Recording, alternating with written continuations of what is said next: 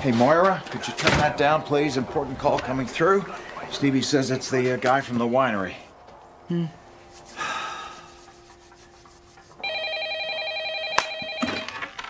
Hello, Johnny Rose. Hello? Hello? Ah. Stevie! I put it through. Okay. Who is it? Herb Ertlinger. Excuse me? Herb Ertlinger from the winery. He's the only guy that's gotten back to me on my proposal, and, and now the.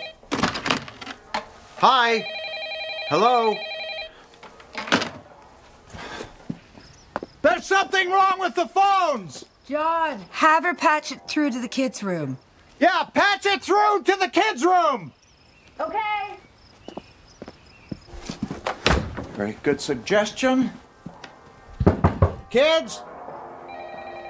David, answer the phone! He has his headphones in, he can't hear it. Then you answer it! Okay. Hello? Alexis, could you open the door, please? I'll take it. No, sorry, you have the wrong room. He's actually in room six. Alexis, unlock the door, please! Okay. No problem. Bye.